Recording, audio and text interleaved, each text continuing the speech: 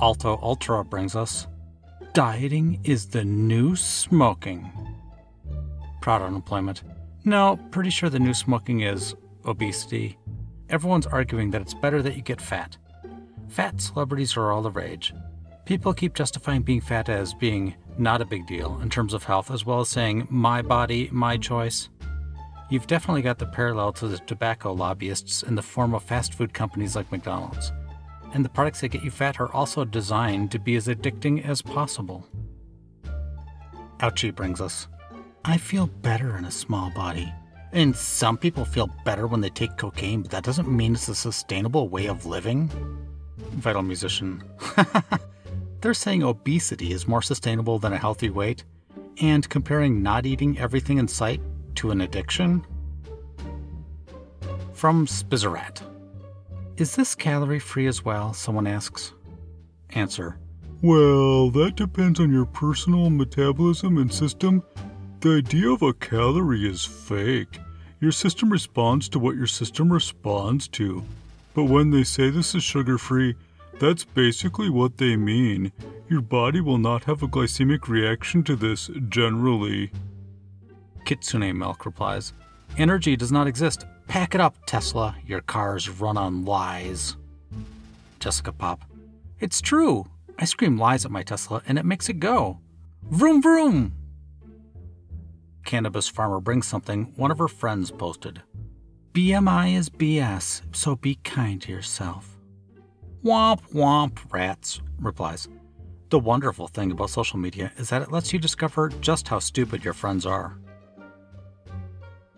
From I singing, Why is it totally cool to manage your emotions with a half bottle of wine, but totally dangerous to manage emotions with food? Superbad. Nobody's saying alcohol is a good coping mechanism. Julian brings us. If doctors refused to treat people with blue eyes, blamed every health concern on their eye color, and dismissed all complaints, if insurance charges them more or denied them outright, if jobs either refused to hire them or paid them less, would their deaths be blue related? Dusty Jazz replies, You ever heard of photosensitivity? It's a condition correlated heavily with blue or light colored eyes. Much like type 2 diabetes and obesity. Remarkable Macadamia also replies, Oh no, this person didn't just use the blue eyes experiment, which was about racism, to justify being fat. I'm sorry, eye color and skin color are things people are born with. But, okay, let's play this out as a genetic predisposition to be fat. Blue eyes make you more sensitive to light. Lack of melanin makes you more sensitive to the sun. That means people with blue eyes should wear sunglasses to protect their eyes. People with lighter skin should wear sunblock to prevent skin cancer. It therefore follows that someone with a propensity toward obesity should watch what they eat and limit their daily calorie consumption so they don't gain so much weight that they can't leave the house. It doesn't mean letting yourself go blind or inviting skin cancer so you can set up a TikTok and whine about how oppressed you are by SPF 30. Ballerby brings us. I really hope all of us are not in this battle against obesity because I actually kind of like being alive, and there is no version of me who is not fat except the dead one. Phoenix Namor. Imagine being so attached to your fatness that you make it your identity, and that you would literally die without it. That is a sad existence. Medelia brings us. Even though you know it's probably not possible, do you still fantasize about having a smaller body? Gib. Alas, if only there were some way it were possible. Trying to control rage brings us. I went to the gynecologist this morning to have her tell me I've gained a lot of weight since last year and that I should do intermittent fasting. Not trying to develop another eating disorder, but thanks for your so called professional medical advice. Proud unemployment. Why is professional medical advice in quotes? If you don't think this is a medical professional, why are you seeing her? Watch blood evaporate brings us. I feel so certain that skinny privilege isn't real. Then surely you'd have no problem becoming fat, right? Nothing would change in your life, you'd just be fatter. You can be confident that you'd be treated the same way as you always have been in doctors' offices, on airplanes, in movie theaters, on other public spaces, Right. Oh, and you'd so very easily receive the medical care you need. Because doctors don't assume the cause of all your problems is your weight. Because everyone gets the same fair treatment, right? Obviously, you could afford to walk into a clothing store and find affordable, age appropriate garments in your personal style, because there's no difference to the accessibility of clothing depending on your size, right? You can eat whatever you want without judgment, because everyone knows that people should be able to eat without criticism. People won't make snap judgments about your health or your lifestyle just by looking at you, and you won't be denied unemployment on the basis of your weight, because everyone is treated equally on this basis, right? If all these statements are true, why are you so terrified of gaining weight? If thin privilege isn't real, why is there an entire industry that profits off the fears of people who don't want to look like me, or who are told they have to change in order to be of value? If thin privilege isn't real, why do you have a problem with being fat? Green Apple Lady replies, Okay, I'm convinced. Thin privilege is real, just like frugal privilege, politeness privilege, or research privilege and all those privileges are just the consequences of actions and decisions, just like being fat is. So it's all the same. The Lil Bell brings us a gentle reminder that posting screenshots or in depth details about fitness tracker stats, step counts, how long a run hike was, etc., contributes to a culture that praises compulsive movement and thinness and vilifies rest, fatness, and disability. Oak Woodland Dreams replies, Compulsive movement? Okay, that's a first for me. They must have filled up a whiteboard, trying to come up with a catchy way to say they hate exercise. Throwaway brings us. I was sending my friends some of my favorite European actresses that I sometimes look at for encouragement, and they think that Americans are genetically meant to be bigger. Uh, okay. Here's what her friend wrote. Well, you know that Europeans are genetically smaller than Americans, right? I could lose all the weight, but I'll never be as small as somebody from, say, the Netherlands, even with all the effort in the world. Their frames are naturally smaller, and we as Americans have evolved to be much more muscular with thicker bones. So we're always going to be bigger. Not trying to discourage you, but I'm just pointing that out. Bob the Orange Cat replies, Aren't Dutch people generally taller than average? They look it up. According to several sources, they are the tallest population by nationality in the world. Farahild replies, Wah! Yes, spoken as a Dutchwoman. We do not have smaller frames on average. We're not fat, though, but getting fatter like the rest of the Western world. Because we have bad cuisine. Look at our lunches, dude, and we cycle a lot. I'm always surprised by how short American people tend to be on average. From Budget Mongoose. This person's talking about when they were younger. I ate way worse then, much healthier and smaller portion sizes, tons of carbs, drank a lot. I danced more, walked more, but mainly I think my metabolism was faster and I could just burn things off. Then mid 20s I worked in an office all the time. My metabolism slowed and thyroid started going wrong. Weight gain ensued no matter how much I dieted, exercised, etc. Whole food, gluten free, vegan, alcohol free diet, so not eating all the pies. Book Hermit replies, So weird how when they stopped dancing and walking everywhere, got a desk job with more money to eat at restaurants, they gained weight. Must be ghosts. And now, Ragen Chastain, from her Instagram. Medical weight stigma is being told to exercise and eat more by a doctor who has no idea what you eat or how much you exercise. Come on, Ragen, be serious. If somebody's obese, it's obvious that they're either eating too much or moving too little. And now a couple posts about Adele. Alaska brings us. It's an article in Slate magazine. I have something to say. I'm a little bummed that Adele lost weight. Yes, I know this is not about me, but it's not just about Adele either, by Shannon Palus. Coffee DePool replies, It is just about Adele, though. Her own weight loss is literally no one else's business or concern. I just read the article and she says, now I have a new thought popping up when I look at Adele. I would like to be skinnier too. She says this like it's a bad thought, like she's naughty for thinking it. Not given an FK brings us a similar one. Celebrating Adele's weight loss promotes fat phobia and misogyny by Da'Shaun L. Harrison. Proud unemployment. Misogyny? Because only women get fat? Alex, who is John Goodman? Watch blood evaporate brings us. Oh, I may be too fat for most MRI machines and have to call around to find a place that has one that'll fit me, and I'm just. Everyone is so worried about fat people's health, but they won't build medical machines to fit us. Waiting rooms consistently have chairs too small for fat people. Some medications don't work on people over a certain weight limit, and that's not even getting to the prejudice that doctors hold and how they weaponize it against us in humiliating and deadly ways. Just tell us you'd rather us die already instead of being so obtuse about it. Gruntled X.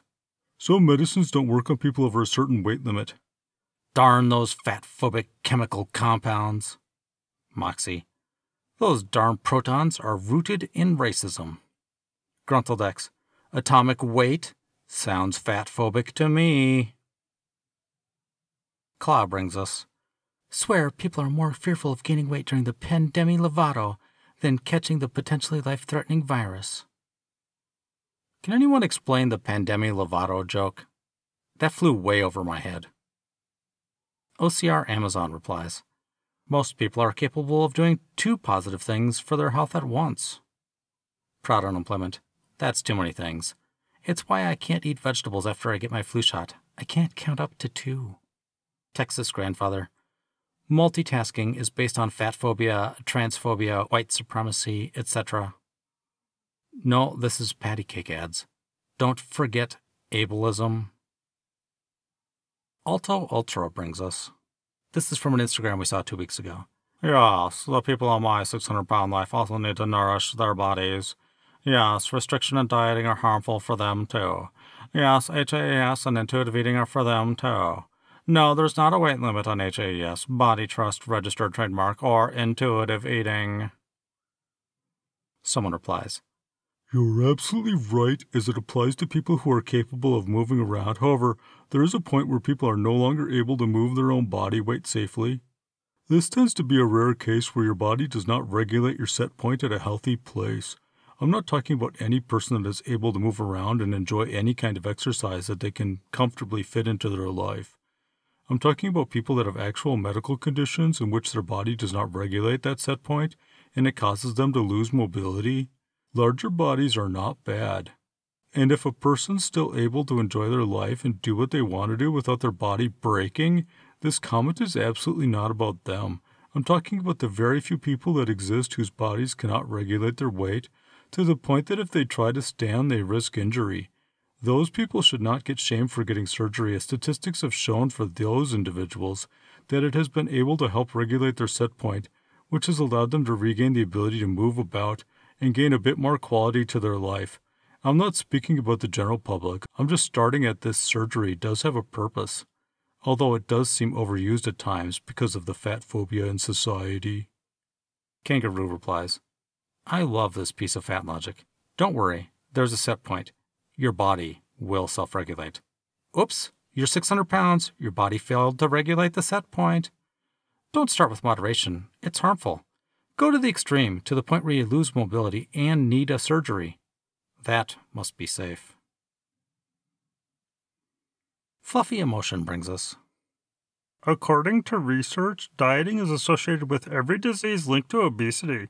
Even obesity itself, along with diabetes, cancer, stroke, and heart disease, all likely products of weight cycling. Double signed. Reminder that a 2020 study that adjusted for whether weight loss was intentional showed that weight cycling resulting from intentional weight loss is neutral or beneficial to your health rather than harmful. Retro Treagle adds Unintentional weight loss. So, a medical problem that makes you unable to absorb calories and nutrition is bad for you? Shocking. Common Fairy brings us. Every time I have an appointment with my psychiatrist, she always encourages a reduction in two of the eight medications I take daily. It's either incredibly coincidental or deeply rooted in anti fatness that both of these medications have been labeled as notorious for weight gain. My bets are on the latter.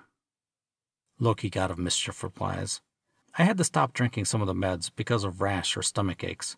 There is nothing weird in reducing meds or changing them to different ones when an individual experiences side effects. Like, why would anyone want side effects? Amazing swimming. Shove it, you rash phobic piece of poop. Dr. Cinnamon Roll. Maybe I like my insomnia. A Mandarin Oranges adds. Uh, excuse me? How dare you be sleep phobic? Dr. Cinnamon Roll adds. Insomniophobes like you wouldn't understand. Watch blood evaporate brings us. It bothers me when people talk about beauty standards and insist that skinny is the ideal because rich people can afford to hire personal trainers, dietitians, etc. And so being skinny is a sign of wealth. That doesn't really challenge fat phobia. After all, if all you need to be skinny is some extra cash, that still suggests that dieting, exercising can all make a person skinny. But we know for a fact that isn't true. The fact of the matter is that people don't become famous if they're fat. Celebrities aren't skinny because they can afford to be. They're skinny because fat people aren't employed in the entertainment industry in the first place. Hashtag not interested in debating this fat phobes will be blocked on site. Hashtag snake posts. Hashtag I talk about celebrities here rather than the rich as a whole. Hashtag because Elon Musk or whoever isn't really setting any beauty standards. Boldy replies. True, Adele, Lizzo, Rebel Wilson, etc., etc., are fat. No matter how much weight they'll lose, they'll still actually be the same weight. That's just science. Watch blood evaporate brings us. Dieting is not a sign of success. It's a sign of woundedness. Right count. It drives me up the wall when people say nonsense, but they type it in big, bold letters as though it's something deep, significant, and insightful. Okay, and a cast is a sign of a broken leg, so what if dieting is a sign of woundedness? Maybe the person felt wounded by their weight and health and decided to do something about it. Third option, maybe it's just a thing someone chose to do for their own reasons and it's really not that big of a deal? Coffee Pinewood replies, Sweating is not angels crying, it's blood that wanted to be horse poop. Like that? Right count. Whoa, you've given me a lot to think about. From Alphaba. The OP has fatty liver disease, chronic pain, skin issues, thyroid problems, and a BMI of 40 plus, and somehow it's dieting that's the problem. Being very open and honest here, Facebook memories trigger me. Today I saw a picture of myself from seven years ago, looking much thinner than I am today. I remember that time and remember how badly I felt about my body and how hard I was working to lose weight. I'm angry. I'm angry because I can't believe that even at my smallest weight I felt so insecure and this overwhelming pressure to keep dieting and lose weight. I'm angry because that constant need to diet led me to where I am today. Much larger, with way more health problems, many of them caused by weight gain. Diets are toxic both literally and figuratively. They don't work. What they do is take a total on your body, continue to raise your set point for weight, and cause a number of health issues. They are extreme, and they have led me to an extreme health issues like liver problems, circulation issues, and increased pain. Just forgot replies. I was so unhappy with my weight at my highest weight and frustrated because I believed I had little chance in losing it and keeping it off. Now, 14 kilograms later, I'm glad I ditched fat logic and any ideas of set points or the impossibility of weight loss. The OP should try. From Entire Histories I'm so sick of thin people speaking about how diet culture is bad, but that losing weight for your health is good. I'm so thick of thin people shouting, they're not even fat when another thin person gets body shamed. I'm so sick of thin people saying, be nice to fat people because weight stigma makes them fatter. As if that's better than straight up shaming us. I'm sick of thin people speaking out against racism, homophobia, transphobia, and stuff, but not giving a poop about fat phobia. I'm sick of thin people acting like we're too stupid to know what's good for us. I'm sick of thin people thinking they're better than us because they're making the right choices, when in reality they're just lucky to have good genetics. I'm sick of being told I'm going to die at any moment unless I starve myself and lead a lifestyle that will make me miserable. Lift our voices or just shut up. Not, not a potato.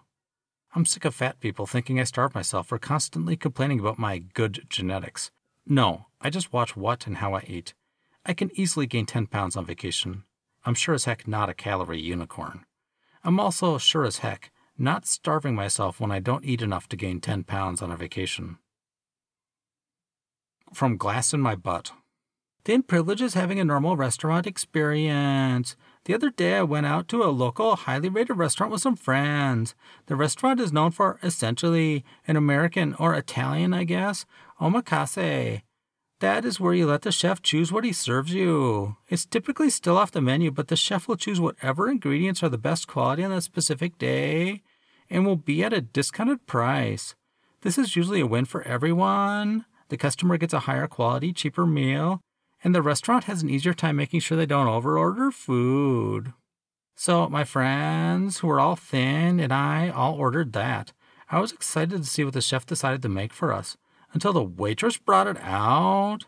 For the first course, one friend got a delicious looking wedge salad, one got a baked potato and cream soup, one got a bisque. What did I get? Lettuce, carrots, and vinegar. Nothing else. I felt like I was being discriminated against for my size. Hey, she's fat. She must eat too much. Let's give her lettuce and vinegar. Those are low on calories, even though you don't just permanently weight by eating fewer calories. But I decided that considering that it was only the first course, I should just wait it out and see what else he was serving us. The second course was a pasta course. One friend got ravioli, another got gnocchi. I got spaghetti squash. Don't get me wrong, I like vegetables and eat a lot of them, but everyone prefers pasta over vegetables, and I was being denied pasta out of the chef's ignorance. Third course was the entree. Someone got a raisin pizza. Someone got chicken parm. Someone got meatballs and bread. I got baked salmon. I was seething at this point, but I'm not confrontational, so I didn't complain to the waitress. It's just not fair. I was given bad tasting food for no other reason than my weight. My friend gave me half her pizza, which convinced me to stay for the final two courses, but I was not happy.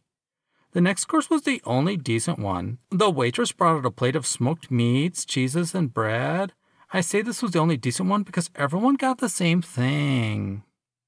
Our final course, the dessert course, was the worst by far. Everyone else got pastries, cake, or gelato, I got fruit because the fat girl must already eat enough cake, right? So we better give her fruit. Needless to say, the waitress did not get tipped, and I'm not ever going back to that restaurant. Thin privilege is being allowed to eat the food you want. Thin privilege is not having people assume you must eat too much or unhealthy food just because you're fat. Thin privilege is being allowed to have a normal restaurant experience. Chicha Chicha replies. Restaurants offer omakase, or tasting menus, because it makes things easier and it's a fun gimmick. No way the chef made four different things for each course. Or these people were supposed to share all the dishes and are just idiots. From Ms. Beaver, who loves how every slide references the same study. It's a bunch of Instagram posts. Diet culture, fat is unhealthy and will kill you. Really? Are you sure? Swipe to read the science. Assumption being fat will make you sick, and you'll get diabetes, hypertension, etc. While it is well established that obesity is associated with increased risk of many diseases, causation is less well established. Epidemiological blah blah blah blah. References a Bacon study. Assumption fat people don't live as long. Except at statistical extremes, BSMI only weakly predicts longevity. Most epidemiological studies find that people who are overweight or moderately obese live at least as long as normal weight people, and often longer. Etc., etc. Again, from the Bacon study. Assumption if you lose weight, you'll be healthier and live longer. Most prospective observational studies suggest that weight loss increases the risk of premature death among obese individuals even when the weight loss is intentional. Blah, blah, blah. Again, from the Bacon study. Assumption the obesity epidemic is placing a huge financial burden on society. The health cost attributed to obesity in the United States is currently estimated to be 147 billion annually, and this cost estimate has been used to justify efforts at obesity treatment and prevention, but the estimate fails to account for many potentially confounding variables nor does it account for costs associated with the unintended consequences of positing the value of weight focus eating disorders, diet attempts, weight cycling, reduced self esteem, etc., etc. Again, from the Bacon study. Assumption the only way for fat people to improve health is to lose weight. that weight loss will improve health over the long term for fat people is in fact an untested hypothesis. Bacon study. Truth, fat is not unhealthy.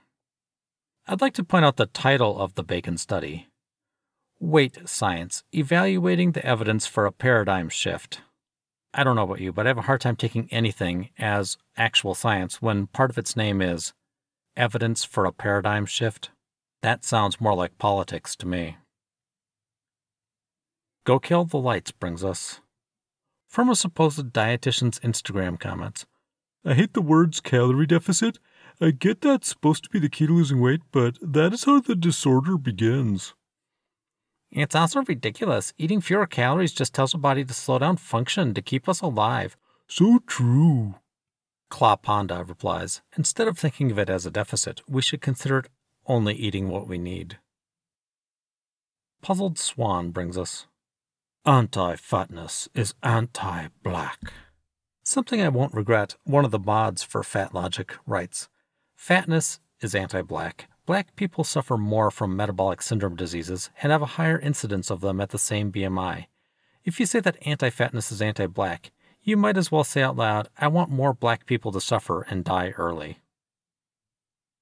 From Love Dove Bunny I'm honestly so sick of seeing mid sized people taking up so much space in body positive and body neutral spaces and hashtags, especially mid sized people who just recently became mid-sized, they act like they experience the same amount of stigma, hate, and oppression as actual fat people. Sometimes even more because they don't fit into either group. Yes, you do. You're a thin person with a belly that's not concaving. That doesn't make your body marginalized. People use fat phobia to insult people in most sizes.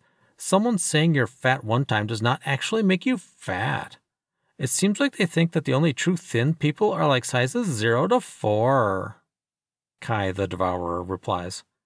It's kind of funny they use clothing as a metric, yet the BMI is literally Satan because bodybuilders exist.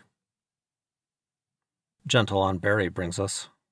Are you sizist? You probably are, even if you don't mean to be. Here are some pointers to help you decide. You think obesity is a health concern in and of itself. I could provide so many studies that say it's not, and I'm not having another argument about this. You idolize and prioritize thinness in yourself and others.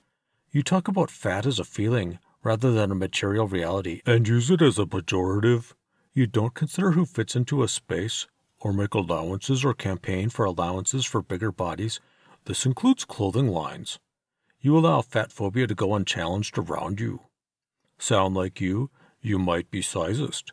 It's probably worth unpacking, even if you think you're only sizist toward yourself. Our attitudes toward our own bodies bleed out into affecting other people and continue to an atmosphere of systemic fat phobia. Proud Unemployment replies To their first point about studies. Translation You can provide so many cherry picked studies that don't actually say obesity is healthy, but has like one line you can take out of context to sound like obesity is healthy.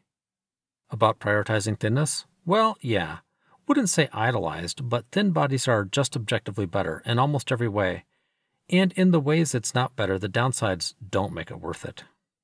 About fat as a feeling, I legit have no idea what you're talking about. We refer to obesity as a disease. You guys use fat like a spiritual state of being. About not considering people who fit into a space. God forbid we don't take into account people 600 pounds and growing. At a certain point in terms of weight, it's not the responsibility of society to cater to you, and it is instead your responsibility to get to a healthier weight. About letting fat phobia go unchallenged.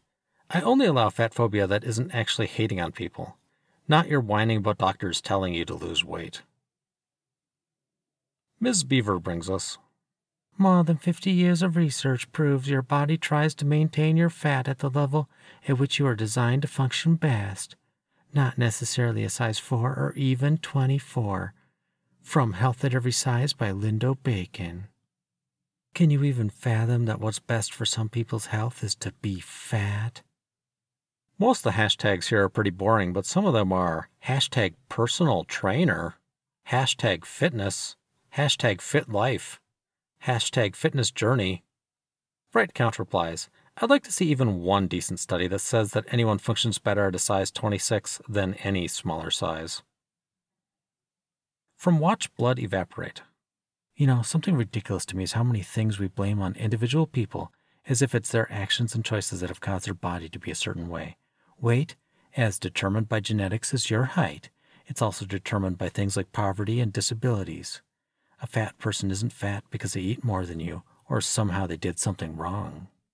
Acne, also genetics. Some people can use every face cream in the world, but will never not have acne. Others can wash their face with only water and never have to worry about skin care. Cavities, whoa, genetics. A person doesn't choose to have their teeth not develop properly when they are four years old. You can brush your teeth three times a day and floss every day. That's not going to stop you from needing fillings. It's kind of strange, but all the things I've mentioned so far weight, acne, and cavities can all be improved, at least a little, with a proper diet that's high in vegetables and fruit and low in junk. Diabetes, surprise, genetics. You don't get a disease because you eat too much sugar. You don't choose to have a disease, and you certainly don't get diabetes from being fat. Please actually look up some scientific studies. Strange, another one that's improved by diet. Thin hair? I can't believe this. Genetics. You don't choose to have thin hair. People with thin hair don't have it because they don't take care of their hair well enough. Disorders? Genetics. People don't choose to have anxiety, depression, OCD, you name it. It's not something they can choose to ignore either. Mental illnesses aren't a choice. Stop pretending like a person with OCD can just decide not to have compulsions. And you know what's even more ridiculous? The people who pretend that these things are choices know deep down that they're not. They can accept that a person is naturally thin, that someone could never gain weight even if they tried, but they refuse to acknowledge the opposite end of never not being fat. They can understand that some people never have acne problems, but somehow don't register that some people always have acne problems. They'll recognize that some people, through sheer luck, can eat as much candy as they want and never have to worry about their teeth, but then shame someone else for not taking care of their teeth enough. They'll see the fat people who don't have diabetes and the skinny people who do, but then tell others diabetes is a choice you make by choosing to be fat. They see people with curly hair, straight hair, thick hair, etc., who cannot change the way their hair naturally works for the life of them, but somehow that doesn't extend to thin hair. These people see those who naturally don't develop disorders due to genetics and then believe that this is the case for everyone. For the love of making love, stop shaming people for their natural bodies. Remarkable Macadamia replies So, if someone is genetically predisposed to have OCD, does that mean they should never seek treatment or coping mechanisms or any help at all if it interferes with the type of life they want to have? If someone is genetically predisposed to have cavities, does that mean they just say, screw it, eat all the candy on the planet, and then never go to the dentist to have their cavities filled or attempt any type of prevention? Hair thinning may be genetic, but it also could be a sign of an underlying illness. Do you just accept it? Or do you at least have a conversation with someone to see if there are any interventions? I don't understand this defeatist stance on life. Some people don't want diabetes to be inevitable. For some people, it is but it doesn't mean sitting on your darn hands and not doing anything to help yourself or allow yourself to be helped. Everyone gets to decide what they want for themselves, but denying those who want help the opportunity to get it and lambasting them for not just accepting what happens to them is just beyond pale. Crappy stuff happens to people just living their lives, but you can take some actions to make life less crappy for yourself, or at least try. Why are these types of FAs so negative and defeatist and whiny? Watch Blood Evaporate brings us. I came across an influencer today that I've followed for a while. She typically promotes taking care of your body, being kind to it, and how thinness does not equal better. However, an article she just posted was about how much weight she had lost in six months, but it wasn't about a diet. It was about taking care of her body and how it felt. There was a before and after photo, and she was clearly thinner in the after. How often are we still sold the idea that we can heal our relationship with our body pursue health, and that we also simultaneously still lose weight. They do not fit together. Anytime intentional weight loss or shrinking your body occurs, it's a diet. If it's a result of your pursuit of health and you still promote the weight or size loss, you're still promoting diet culture and fat phobia. Our physical appearances are not indicative of our health. If you are promoting BOPO, HAES, etc., you can't also promote your weight loss or body shrinkage. OCR Amazon replies, I hate the guess what, that's a diet rhetoric. They think it's such a gotcha. They operate under the assumption that we are unaware that the way we eat is in fact called a diet, or that we are as offended by the term as they are. Nope, don't care. Call it a diet all you want. Right Count adds, right? That's the echo chamber, I think. They've talked themselves into thinking that the average person is living in dread of being called out on dieting, thinking that excess weight is bad, etc. But they don't, so it's like, fine, I'm on a diet then, so what? From Chaton Noir. Calorie counting works. It's all about calories in versus calories out. You download the app, and at first it's all fun and games. It might work in the first months. Later, it slowly becomes an obsession, leading you to count calories in every bite. You hit a plateau from all the stress, and you have a new unhealthy mindset. Not seeing food, but they're calories only. It's not the food anymore, it's just the numbers for you. It leaves you completely detached from your bodily signals and your intuition. It's not worth it. Ms. Morgendorfer replies, Yeah, and that's called an eating disorder, a psychological issue does not affect the truth of calories in versus calories out. From author Z. Suko My roommate tried intuitive eating and gained 30 pounds. It's not guaranteed you'll lose weight with intuitive eating. We all have a set point, which is our weight within a 10 to 20 pound range. Maybe she was below her set pint and is now finally at her most healthy weight. Diets, also known any restriction, and weight cycling are very harmful to our bodies, and 95% of diets fail, and people gain the weight back within a few years. The point of intuitive eating is actually listening to your hunger cues and responding to what you need and not looking at any food as good or bad. This removes a huge stressor from your life. Stress can cause weight gain, and when you are enjoying your life instead of worrying about what you are eating, then life is more fun and free. Bigger bodies do not mean unhealthy, just like thin does not equal healthy. Proud Unemployment replies I just imagine the CEO of Frito Lay's reading comments like this and saying, Yes, Listen to what your body needs. Restricting is terrible for you. While laughing maniacally and making it rain $100 bills. And now, dechonkers. First one comes to us from Megston. There's a picture of a big fluffy white cat sitting on a couch with his buddy, a black cat. What's a good way to exercise an arthritic chonker? Ivy Mowry brings us two pictures of their white cat. I'm not to lie, the white cat is big enough to kinda look like a pillow. Need advice to start dechonking process and reference goal weight for Dimitri. He currently weighs 24.4 pounds. From Raichu. Is that one of Pikachu's buddies? It's a gray and black stripy cat with green eyes. On the first picture, he's laying on the bed looking a little chunky. On the second picture, he's sitting in a cat tree, and it says, Now she can fit in this cat tree. She couldn't before. Ozula went from 14 pounds to 11 pounds after six months of hard work and eating right. From Nihilistic Table Lamp. It's a picture of an orange cat with a white belly. In the first picture, he's laying on the couch, and the second picture, he's on the bed, maybe about to attack a dog, hard to tell. Is my 15 pound tabby needing a dechonk? I can't tell because of all that fur. Cinema Bears brings us pictures of their gray and brown and black stripy cat. In the first picture, she looks really large. In the second picture, maybe she's lost a little. This big gal is down 8 pounds, 22 to 14, in 18 months. Must be a very fluffy cat, because he still looks slightly overweight in the second picture. No Clever username brings us a picture of their white and black cat. He's in a picture here, eating some food out of a bowl. Mr. Squishy eating his diet food like a good boy. From Mixlea, it's a picture of a light brown lab, maybe? I don't know. It's a dog. In the first picture, he's in the water. Looks like he's at a lake, maybe hunting some fish. In the second picture, he looks a lot thinner, and he seems to have less fur, too. Looks very muscular, and he's running around on some dirt. Another update he's buff now. Fat to fit. Trust me, it's possible. 140 pounds to a slim 97. Few You brings us a picture of a very similar looking dog. In the first picture, he's laying in a lake too, and in the second picture, he's coming out and shaking all the water off. I'm the OP of the 9 year old Golden Retriever setter Bernese Mix Post. Here are some pics so you can understand better her appearance. Thank you to everyone who helps support me to make these videos, and to everybody who comes and watches. A special thanks goes out to Hannah McNally, Carl Williams, and Sarah Ahern for their generous support. That's the end of the video. If you liked it, consider clicking like and subscribe. If you really liked it, consider becoming a member.